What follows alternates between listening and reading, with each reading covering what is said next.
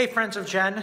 Uh, welcome to Movement Minneapolis. My name is Mark, and uh, I will be conducting your Saturday Storytime workout. Today's workout is inspired by uh, what I think a lot of workouts are inspired by uh, Russian peasants from the late 1800s.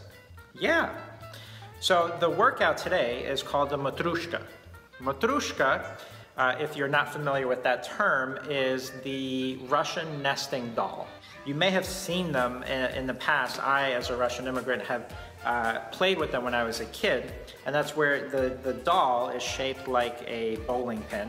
And then you unscrew the top, and there's another doll inside, and you unscrew that, and there's another doll inside. And uh, legend has it, the origin story of the Matryoshka, uh, again, peasants, uh, as inspirational as they may be uh, for workouts, um, uh, late 1800s, uh, uh, one particular artist created this toy, uh, and it was uh, at that point considered uh, actually an amazing invention and, and very celebrated both for, from its toy perspective, but then also from its artistic perspective, because each thing, each doll within a doll was painted in a different fashion, usually showing some kind of family lineage uh, uh, the, the first one highlighted the different tools the peasants used to conduct their daily life.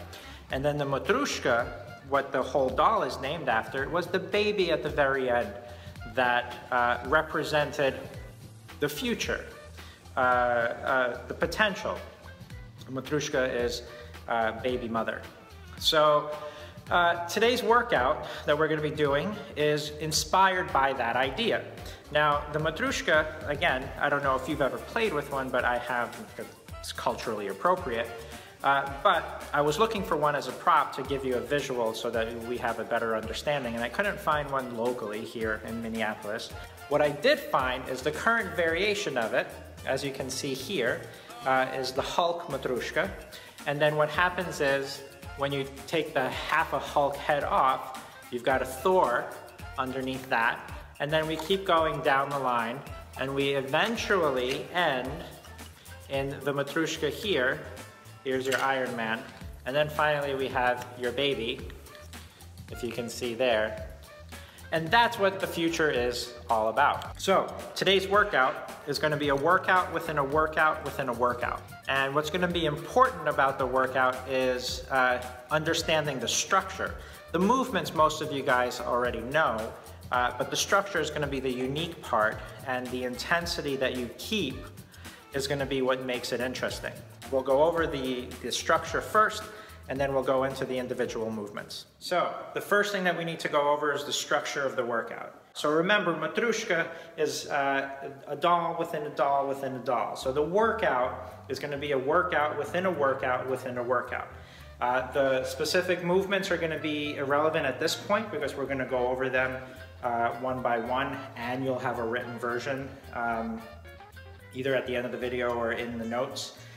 Uh, but what you need to keep in mind is how to actually conduct, where to rest, and uh, what intensity to move at.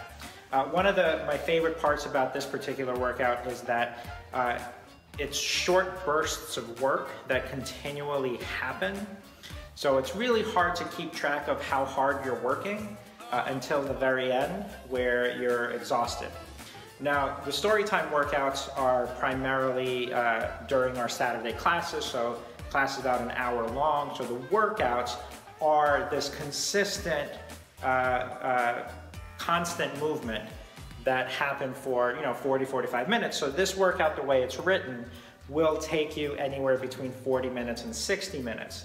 If you want to shorten it, begin to take rounds out of each section and it will shorten the entire thing. So first, the entire workout is the, the large uh, matryoshka. It's the outside case. So that's the large workout. Then within the workout, you have three distinct sections that you're going to be working on individually. And then within those three distinct sections, you have individual lines that you're gonna follow through. So this is how it works. First section you're gonna be doing for five rounds. Uh, five rounds of three by three whatever movement is there. So you're gonna do three movements. Let's say in this case, it's the push press. Three movements of the push press. You're gonna put the weights down. You're gonna pick them up. You're gonna do three more reps, put it down, pick them up, three more reps. Then you're gonna move on to the second movement. Three movements or three reps, up, three reps, up, three reps, up. Then again to the next movement. And then you do that, that, those three movements in that cycle five times all right? At the end of that, take a break. Obviously rest how you need to.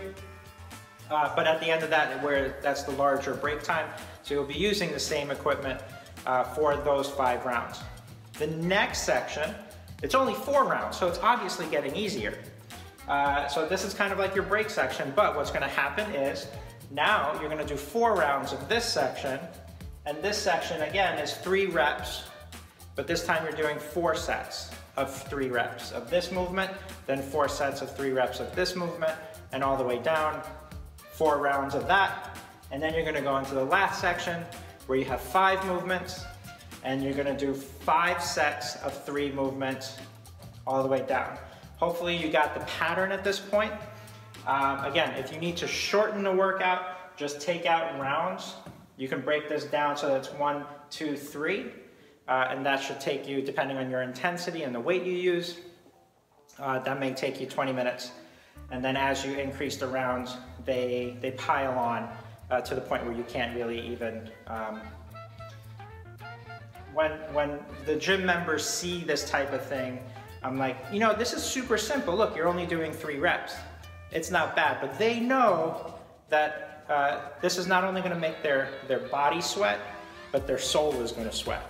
So depending on how deep you want this to go inside uh, the core of who you are, uh, moderate the, the rounds because that's gonna make the big difference. All right, so let's go over the individual movements and then do your thing. If you know the movements, don't listen to the rest of what I have to say and just go crazy, all right?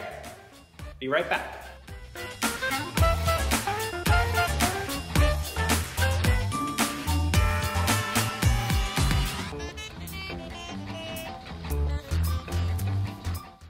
All right, First section, first three movements that we're gonna go over, push press, triple lunge, and squat jump with a hold.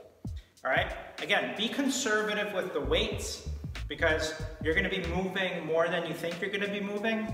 And uh, you can always change weights as you need to, but my recommendation is always be conservative. Push press, nothing too complicated with it, kettlebell or dumbbell. You're gonna start in this position there's a secret to the push press, uh, which is everything actually depends on your core engagement uh, to get the power from your feet to go into the bell. So what you'll notice is if you have a habit of jumping or falling into the push position, the little dip, and your arms and shoulders dip separately than the rest of your body, then you're not really using your feet. You're kind of just using the elasticity of your shoulders.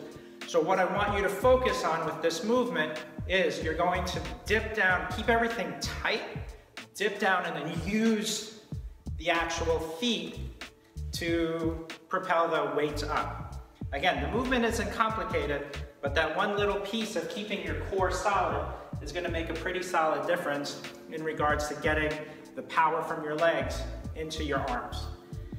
Second motion, triple lunge. So what we're gonna do with the triple lunge is we're gonna do a forward lunge, a back lunge, and then a uh, side lunge. If you want, you can do a curtsy, but stick with the forward and back just to create, uh, just to get that the momentum piece into it. So main thing I want you to focus on this is whatever leg is bending takes the majority of the weight. So as you drop into this lunge, this leg is taking the weight and propelling you back to either standing or propel yourself back, swing through. Now this leg is taking the weight and this leg is gonna do the work of lifting you into the third position, which for now we'll just demonstrate a side lunge where this leg is gonna fall out and I'm gonna be out of frame, but this leg is now taking the weight, and this leg is gonna propel you back up. So the movement in full will be this leg takes the weight, this leg goes back, this leg takes the weight, this leg now goes out and takes this weight. And then you're coming back up. So one pass of that is one rep. So three of those. Here's a side note. I have a tendency to do things uneven, mainly to mess with people, but you're gonna end up being uneven with the reps. So hopefully your OCD doesn't, kick in too much. Uh, the last movement on this is a squat jump with a hold. The hold is in the bottom of the squat jump. So what you're gonna do is you're gonna go down to the bottom of the squat, you're gonna jump up, you're gonna come back, and I want you to catch your momentum at the bottom of the squat, hold it for just one second, and then come back up. So it's not a bouncy squat jump. You're gonna jump, catch yourself, and then jump back up. So you're gonna start squat down, up, lock, up, lock, and continue for a count of three. All right? So you're gonna do three reps of each of those, three rounds of each of those, and then five rounds of the entire thing. Section two, now we have four movements. We're gonna start with the bottoms up kettlebell uh, goblet squat uh, which is going to be uh, an interesting thing depending on the weight you choose. Uh, then we have the Halo twisting squat jump, which isn't as complicated as it sounds, and a sumo deadlift. All right, so the first thing, the bottoms up goblet. So what I want you to do is, I'm gonna go conservative because I don't wanna work out right now. Um, but you're going to basically, you're gonna swing into a bottoms up position both hands are gonna be inside and holding it in the goblet position. You'll be surprised how annoying it is to maintain this stability. And then from there, you're gonna go to, into a full goblet squat. Chest stays tall. This is gonna keep you pretty honest. Uh, so again, choose your, your weight conservatively. So up into goblet position, and then just squat through, keeping this at your face uh, but make sure that it doesn't fall into your face. It doesn't make the workout any more fun that way. So three reps of that, four rounds of those three reps. Then you're gonna move on to a halo. Halo, you can use the same kettlebell, a lighter kettlebell, a heavier one. Again, you choose the weight, starts right in front of your face. And the way that I like describing this is you're gonna mess up your hair on the way back, and you're gonna mess up your hair on the way forward. I'm not gonna mess up my hair, but this is the reason I went bald, is because I kept doing halos and it rubbed the hair right off. So you have that to look forward to. All right, so it starts here. Then you're gonna bring this to your side. Your hair gets messed up. You're now behind you. Here's a little tip at this point in the behind section. Don't let your ribs flare out. It's not gonna be, that range of motion shouldn't be coming from your uh, mid to low back. That range of motion should be coming from your shoulders, opening up. So you should be opening here, not opening here. So you start here, drop back. This is not there, you're here, it's open. Then you're coming through, brushing your hair going forward, back here. So here, here, here, here, okay? You're gonna do three, do four rounds of that. Luckily, that'll end up being even for you. Uh, the twisting squat jump, movement number three. Uh, again, squat jump is still the same. This time we're not holding. I just want you to land facing a different direction than when you launched. So whether it's going to be uh, all the way around 90 degrees or just short little twists, doesn't matter. I'm just interested in you squatting, jumping, landing facing a different direction. So you can go here and just end up here, or you can go here and end up here. Whatever makes you happy along those lines. But the goal is do three jumps consecutively. So this one's a more springy and always end up facing a different direction. Last movement, sumo deadlift. Use kettlebell, use uh, barbell, whatever you have accessible to you. Feet wide, right now you can't see it in the frame, slightly uh, turned out, that's the nature of the hip. Then from here, the cue that I like using for the sumo deadlift is uh, basic structures, keep the chest tall, uh, but the pressure on this up part when you're coming up, I want you to think instead of pushing your butt through, I want you to think of the crease where your butt and your hamstring comes together so that as you're coming through and you're in this position and you come through, I want you to think of pushing that crease forward.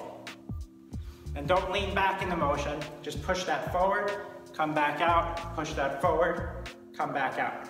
So here, instead of uh, this position, which often happens when you think of just glute forward, think about this position, I don't know if you can see behind my hand, right here, where the butt and the hamstring meet, and then when you're going through that motion, just think about this, locking forward, and then you get into the full lockout for the sumo deadlift. Again, be conservative or not.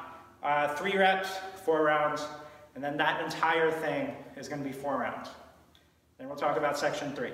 All right, section three, we've got five movements. You're still gonna be doing three reps, but this time you're five rounds of each three reps, three rounds of the entire thing. Uh, five movements are uh, kettlebell swing or double kettlebell swing, and we'll go over either doing it inside your legs or doing it outside like a ski swing. Uh, we have a double bent over row, so those same kettlebells you can use for uh, a row. We've got an alternating windmill, uh, push-ups, and a squat thruster. I'm not gonna go over push-ups. Um, there's plenty of resources on that in the world. So, the kettlebell swing, first thing. And this is, you're gonna do three at a time, which makes it even more annoying um, than, uh, than doing just regular swings. So double swing, you know, you start from the hike position. If you want inside, uh, it's hard to start from a hike position if you're uh, uh, starting from the outside. But we'll pretend that we hiked in order to just skip that part. Uh, and then we're going through. So on the swing, uh, again, I like to focus on this little spot between where the hamstring and the butt comes through, same way we did with the deadlift. Uh, but the focus is going to be on, number one, making sure you have enough clearance between your legs to get the kettlebells through. Uh, one style I, I like doing, and there's different styles of it, is making sure that the thumbs are pointing in on my way there so that I can actually move through cleanly. Um, and then if they're outside, the thumbs are pointing forward. So if I'm working here, the thumbs are pointing in and I can maneuver the weights however I need to. If I'm pointing, if I'm working on the outside, the body movement is exactly the same. And then Jen has a whole bunch of uh, videos to help you clean up those specifics. I don't want to eat up time doing that.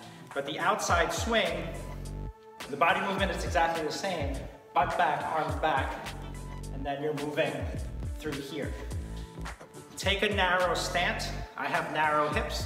It's easy for me to swing by my legs uh, without hitting them. If you have any wider hips, then you might hit your legs. Be smart in your choice of swing. I don't want you thinking about, am I gonna knock my knee out uh, while swinging, so be smart about it. Uh, one major difference is the outside swing is gonna work upper back and uh, traps a little bit more, so you might feel, if you're not used to doing those, you might feel uh, your traps a little bit um, sore over the next couple of days, which might be nice. Uh, double bent over row. I want you to stay as strict as possible with this. So imagine uh, going into an RDL. So again, my favorite spot where the butt and the hamstring come back to, uh, together. You're gonna push out into that spot. Make sure that the weight of your body is felt somewhere in the glute and into the leg. I don't want you feeling like you're holding up your body with your low back. So if you are, you're gonna have to find that place where you can push and feel the weight of your upper body in that hamstring or in the glute uh, so that it's not on your low back. So that's a little bit experimenting if you're not used to that motion. The rest of it, the way that I cue this is butt goes back, you're now into this position. I like for you to stay strict with it. So what you're going to do is you're gonna go shoulder blades back, elbows to the torso, elbows out, shoulders out. Shoulder blades back, elbow to the torso, elbows out, shoulders out. So that the shoulder blade is actually going through the full range of motion. And it's not, you're not just either keeping your elbow, your shoulder forward and you're driving your elbow only, or that you're just keeping your shoulder back and going through that entire motion. Keeping your shoulder blades stuck is not gonna help you long term. Um, last, oh no, not last thing, sorry. Alternating windmill. Now the alternating piece is rep to rep, which makes us a little bit unique from just doing uh, two windmill motions. And the other thing is if you're, this is a double windmill, so both hands are gonna have weight. Again, the specifics, um, uh, Jen has resources along that, so she can go over, or you can search for those resources. But the alternating piece is, you're gonna start one high, one low, feet are turned away from the top hand. Now, what's gonna happen is as you go down, you're gonna go as far as that is gonna let you go. This weight is gonna just add a little bit more tension into your life. Then you're gonna come up, all the way to standing, feet neutral. You're gonna switch, feet change direction, and then you're gonna move through. This hip doesn't like moving so much.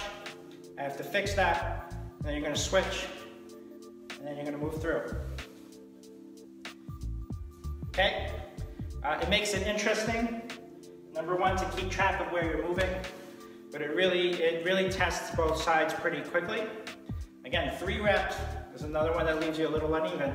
If you want to do extra work, go for it. Um, push-ups, squat thrust. So push-ups, we're not going to go over. Squat thruster, a favorite of everyone's. Uh, we're not going to, so this is basically a burpee without a push-up. Uh, we're not going to do the push-up because we just did a whole bunch of push-ups before. So focus on this is uh, be careful on your way down and then try to spring up as best you can. There is a little bit of a hop in there which depending on where you go to the gym or if you're coming from CrossFit, uh, it's a different experience. But the main thing is on this is don't let this happen on your way down. So don't let yourself bow out or bow through here, making a U and not keeping this solid. So whether that means taking your time, planting your hands, kicking out, coming back through and jumping as separate steps to make it plausible for you, that's fine. The actual work is getting from the ground up uh, safely. So it's a good practice just in general from that perspective. But on the way down, don't just fall. Control the entire motion. As I like to say in the gym, is you have to own every part of the motion. There is no passivity. Gravity is gonna push you down, but it doesn't mean that you have to fall down with it. You can just accept it and move through it uh, under your own uh, choice. So if you need to, just squat through, plant your hands, kick out. And then from here, you're gonna kick back, back here, and then up. If you wanna do it faster, you can uh, absorb the weight a little bit. So, and then jump back up. So speed is controlled by your ability to control your midsection more so than anything else. All right? Again, three of those, take a breath, and then repeat that five times. Repeat the entire thing three times. All right, so that's the entire workout. Um, good luck. Tell me how it goes. Uh, a future story time workout that we're working on right now uh, is an homage to Janet Jackson and uh, Beyonce. So stay tuned and hopefully we get that on camera for you guys too. It won't be part of this series, but it'll come out uh, eventually. All right, I'm out of breath. I did like three reps. All right, I gotta go.